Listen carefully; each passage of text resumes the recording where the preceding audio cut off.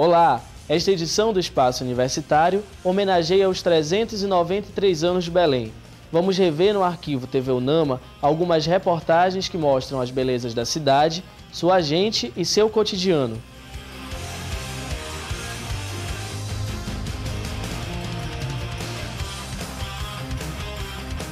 E uma entrevista com o prefeito reeleito de Belém, do Mar Costa. Na pauta, os projetos para melhorar os serviços de saúde do município o trânsito e a segurança do cidadão, entre outros assuntos. É, de que Belém é um encanto em cada canto. Vamos conhecer a beleza e os encantos de Belém, a cidade das mangueiras. No verão, sombra para aqueles que passeiam por aqui, mas no inverno, com a chuva, a paisagem se modifica e surgem as mangas, doces, mas que preocupam os motoristas. Belém é conhecida como a terra do açaí, da maniçoba, do tacacá, da maior festa religiosa, o Sírio de Nazaré. E também pelos famosos túneis verdes, que em dias de sol quente amenizam o calor escaldante de quem passeia por aqui.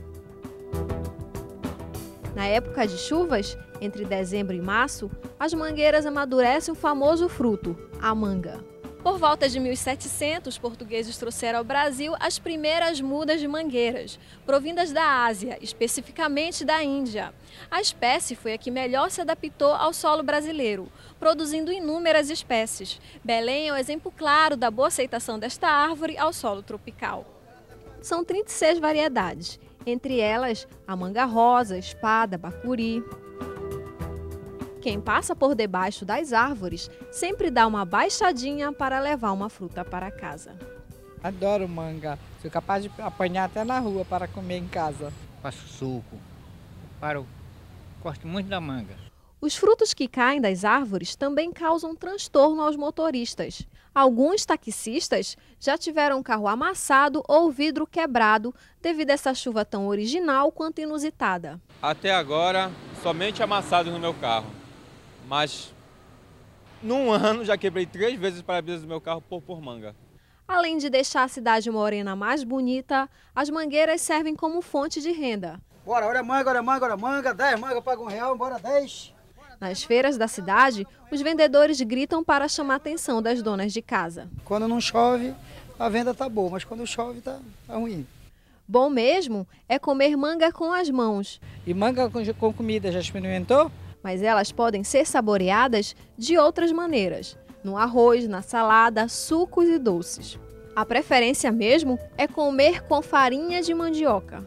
Com farinha é mais gostoso. Descasca a manga, mete dentro da farinha, mete a manga, é pronto.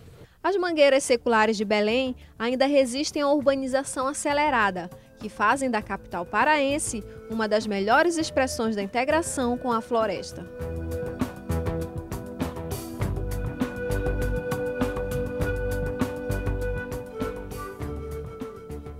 Também não podemos esquecer um dos mais famosos cartões postais de Belém, o Ver o Peso.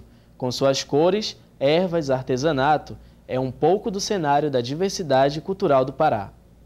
Um dos mais famosos cartões postais de Belém é o mercado do Ver o Peso.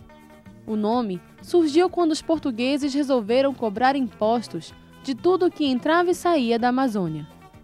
Por isso, criaram em 1688 a Casa do Aveiro Peso. Com 26.500 metros quadrados, o Vero Peso tem 2.000 barracas e camelôs. Os barcos chegam às docas trazendo produtos do rio e de cidades próximas, para serem vendidos nas barracas da feira. Candidato a Patrimônio Cultural da Humanidade, o Vero Peso faz parte da memória viva da cidade. É impossível vir a Belém e não visitar esta, que é a maior feira ao ar livre da América Latina. Mesmo que Belém tenha características de uma cidade moderna, o complexo arquitetônico do Ver o Peso ainda tem marcas de um passado rico e glamuroso. A arquiteta especialista em patrimônio histórico, Rosiane Norá, explicou melhor essa classificação. O Ver o Peso, no entanto, está dentro do centro histórico e o centro histórico tem tombamento municipal desde 1990. E na esfera nacional ele também tem tombamento federal, ou seja, essa área da cidade ela é reconhecida nacionalmente como patrimônio histórico e também arquitetônico e cultural. O Mercado Cultural Solar da Beira, as praças do Relógio e do Pescador, o mercado de peixe e o da carne, todo em ferro importado da Inglaterra, fazem parte do complexo Veropeso. A Feira do Açaí também faz parte do complexo. Além da venda do açaí, tem bares onde os frequentadores desfrutam da tranquilidade de poder experimentar bebidas e comidas típicas, ao sabor da brisa que sopra da Baía do Guajará. Apesar de parecer um grande varejão, a mistura de cores, cheiros e objetos é muito interessante.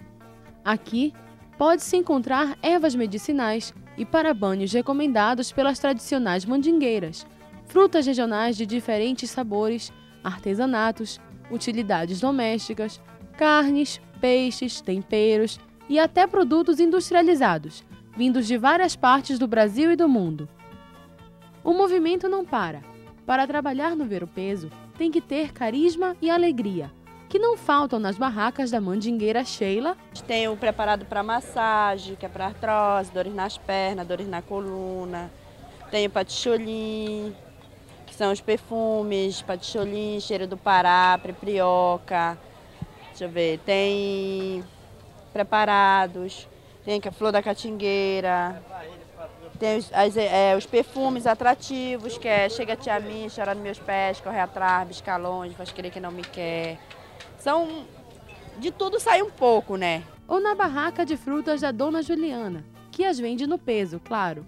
Para mim é a maior felicidade, porque é daqui que eu ganho meu ganha-pão e tenho muito contato com as pessoas.